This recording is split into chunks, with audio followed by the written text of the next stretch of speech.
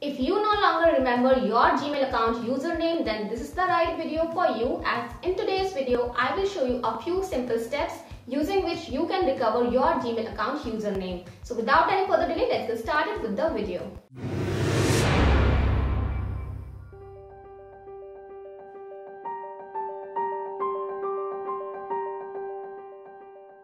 Alright, to start recovering your Gmail account username, what you need to do is, here I am on the Google account login page. So you have to open the login page first of all.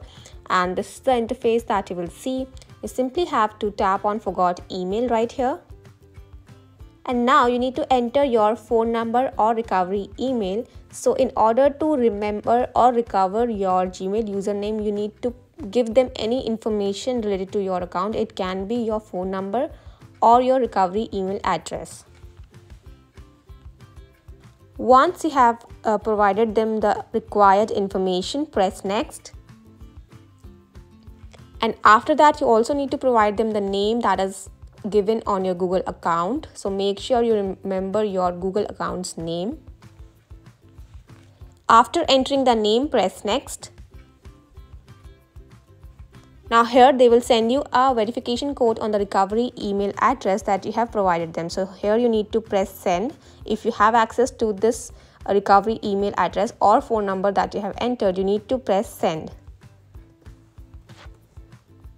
And now here you need to enter the code that you have just received from Google.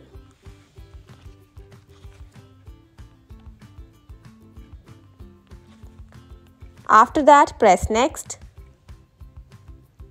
so yeah that's how you can easily recover your gmail username your gmail account that is linked to that recovery email address or phone number will appear right here so you can simply tap on that enter your password and you are good to go so that was it for today's topic. I hope you found this video helpful and if you do, don't forget to hit the subscribe button and also press the bell icon to stay notified of all my upcoming videos. If you have any doubts, issues or queries, do let me know in the comment section down below. And for now, I will take the leave. We'll see you the next time.